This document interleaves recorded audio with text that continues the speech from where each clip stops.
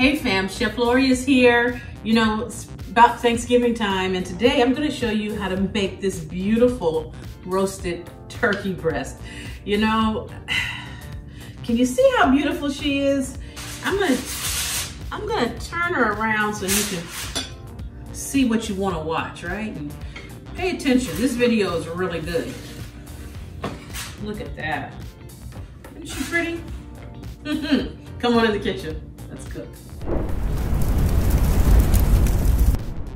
So step one is brining the turkey. Here I have a gallon of water that I've put into a nice big pot. And to that, we're gonna add quite a bit of salt. You're gonna need like a cup and a half to a cup, cup to a cup and a half of salt. And I'm using kosher salt.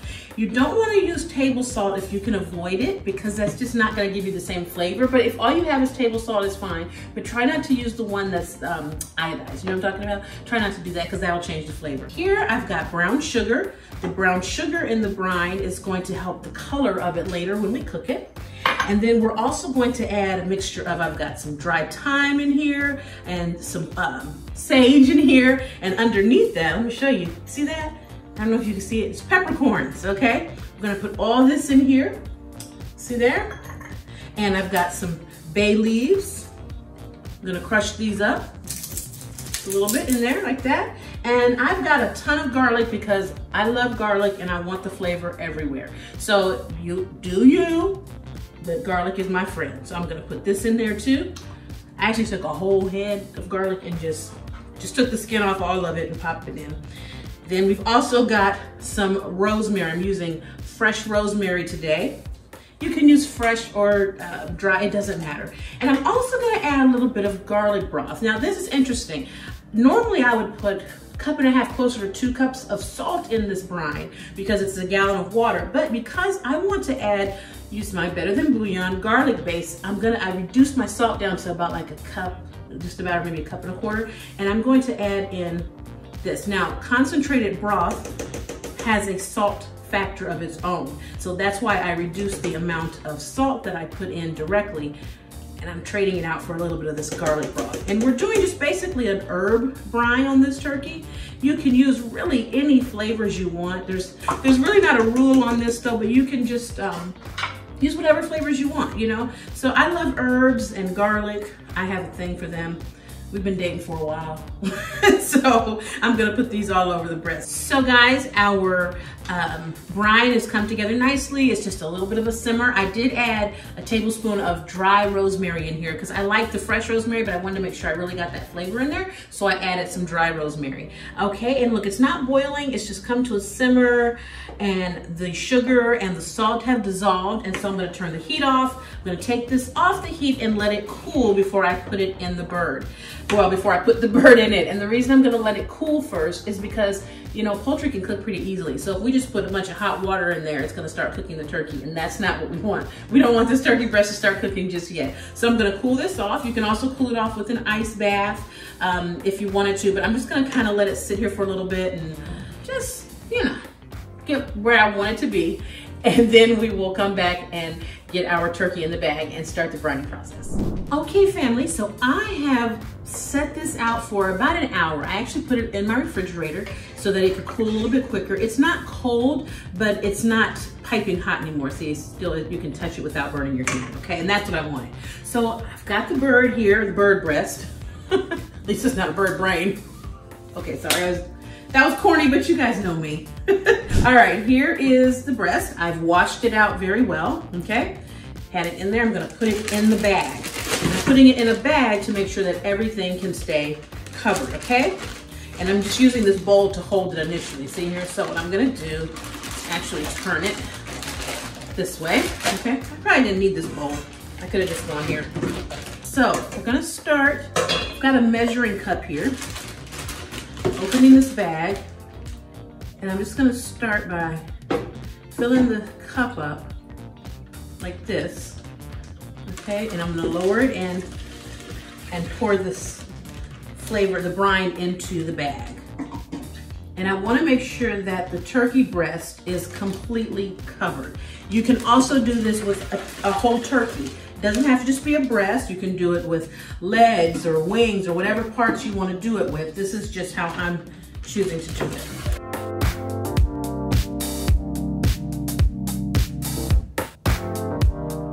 See, it's completely covered, okay? You can leave this just in a bag by itself and, and put it in the refrigerator, or you can put it in a pot um, or whatever. I'm using my sous vide thing because this is what I use for um, when I sous vide and it's big enough. So why not, right? So even though it has a top here with a little hole where the sous vide machine goes, that doesn't matter. We're just gonna put it down.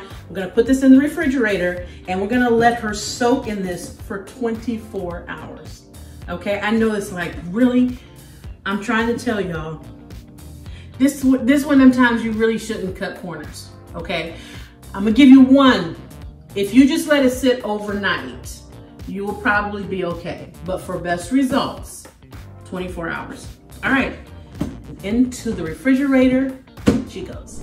Okay, family, so I have brined the turkey overnight. It has been 24 hours in the fridge and I wanna show you what has happened. Look at this. You see this? This is our turkey breast sitting in the juice. It's brown like that remember we put a little garlic broth in there with it? That is where all our goodies are. So what I'm gonna do is take this over to the sink. I'm going to pour this out because we cannot use this anymore. This liquid is done. It has done its job. And I'm going to put the turkey on a tray and come back over, turkey breast, and come back over and we're gonna continue from there. Let's keep going. So here is our turkey breast. I've gotten rid of all of the brine liquid. I had to pour it down. I used actually like a strainer to make sure that I didn't get things stuck in my disposal because I put garlic in there, remember? And we used the actual whole thing of a fresh um, rosemary sprig. Now, what we wanna do is dry the turkey off, pat or dry. And don't worry, this is not going to do something bad to the flavor. We're not gonna compromise all of the work that we just did, I promise you. Okay, use paper towels for this part. And I'm wearing my gloves now because it just helps me feel a little bit better. See how I broke her back just a little bit? And I did that so she can sit up, okay? So I'm gonna just give her one more little pat. And what we're gonna do now is rub her down in butter and herbs because what we did with that brining solution has got her already inside. She ready? now we're going to roast this in cast iron. You can use a, a, regular pan, do, do what you do, okay? I'm not getting in all that, but I'm just gonna use my cast iron because it's just a turkey breast. And the reason I wanted to open her up and break her back a little bit is I want her to sit up like this when she's in the skillet. So I've got two sticks of butter and these butter sticks are at room temperature. I left them sitting out so they can get nice and soft, see? Just like that, okay? Now, I'm going to you take some garlic powder. I didn't pre-measure these because, you know, this is one of those times when you really need to just let the ancestors speak. You understand what I'm saying? But I'm going to technically, uh, sort of officially go in with about a tablespoon. You can over season it, but it's very hard to over season a turkey breast. I've never had an over seasoned turkey breast in my life. okay, here's some thyme leaves. We're using the basic same herb blend we used before. Tablespoon of that. Parsley. And again, whatever you choose to use. If you're gonna do it Cajun style, use your Cajun, that's fine. There's our parsley. Some basil. These are, yes, these are my little dry kitchen herbs. Y'all see what I'm working with. I like to use fresh herbs too, but you know, dry herbs are actually stronger. And in a situation like this, I recommend this and a little bit of rosemary. And that garlic powder in there is gonna also help. Remember we put the garlic broth in there and we put in um, whew, some actual cloves of garlic, remember that? Okay. All right, so here's our butter and our rub. Just gonna mix this together. I'm going to put around the bottom of it, we're gonna lay an onion, some more garlic cloves, and a little bit of lemon. I'm gonna take this lemon and actually put the zest in here. Don't zest till you get to the white. When you get to the white, stop because that's the pith and that part is not good. That part don't taste, that part ain't good. I'm gonna slice this onion, I mean onion, the lemon up, okay? Here's the lemon. I'm gonna slice it like that. And remember, anything that's in the bottom of the skillet, we can use it after it comes out to make our gravy. All right, so let's get ready to do this. Y'all ready? You ready? All right, here it is. Back broken off. See, this is why I'm using the skillet. Doesn't that look good? It looks authentic. Authentically what? I don't know. okay. First things first. Take your finger and run it under the skin. You wanna loosen the skin up a little bit. You see how I did that? Okay. This is important. See how the skin loosened there? I didn't go crazy. I'm not trying to take the skin off. I'm just trying to loosen it. Okay, same thing over here. Find yourself a little opening and you'll find, don't force it, you'll find an opening in the skin, okay? Okay, and you see, I'm using my finger to separate that space and I'm going up as far as I can, see, even up in here, okay? Now, we're gonna take this butter mixture and we're gonna put it under there, underneath the skin, like this. This is gonna help that flavor cook. it. See, it's like a little pocket. You see how I put that all the way in there? It's like a little pocket, okay? A little bit more in there just like that. And then I'm gonna spread it out, see? Okay, I'm going this side. So you see what we did? Now here's the, the sides of the breast and everything. We don't have legs and thighs because we're just using a breast this time.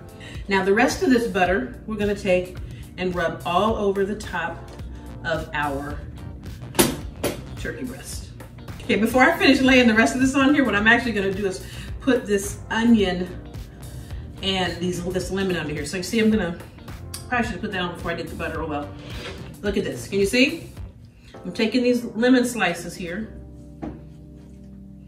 and I'm just placing them underneath like this, okay?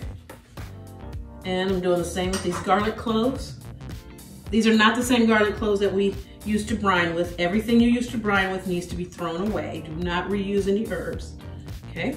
Right there.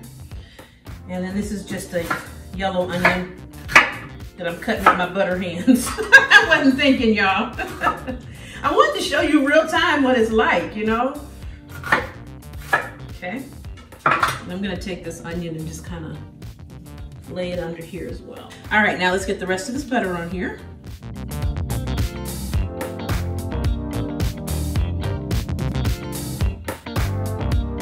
Hit the top with just a little bit of salt because we've brined it well.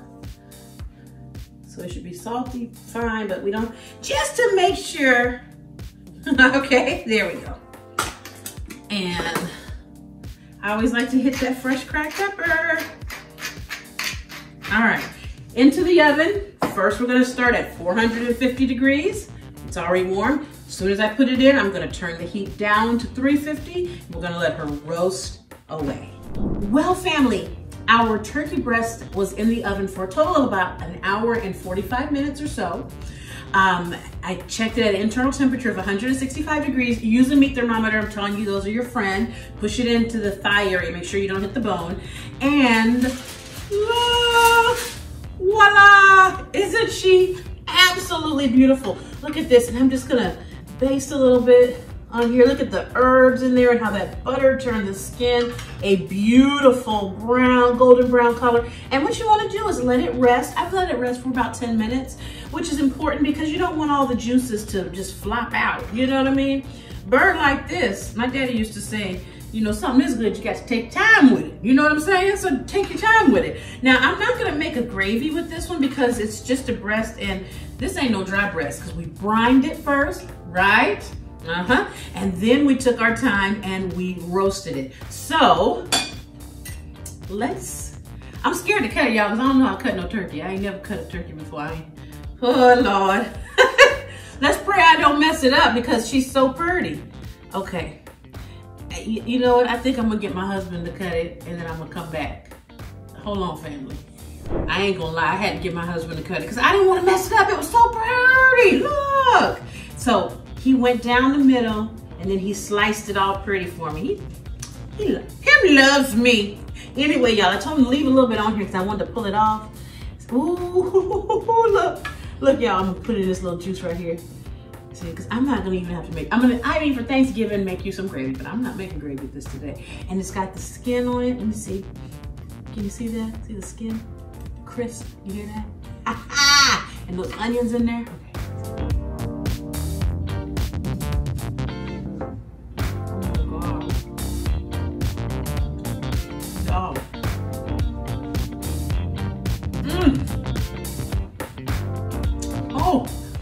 Brining makes all the difference, I'm telling you.